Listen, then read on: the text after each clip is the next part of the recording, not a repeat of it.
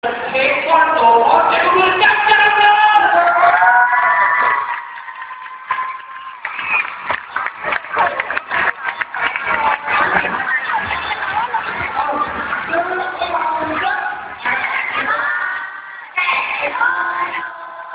Yeah.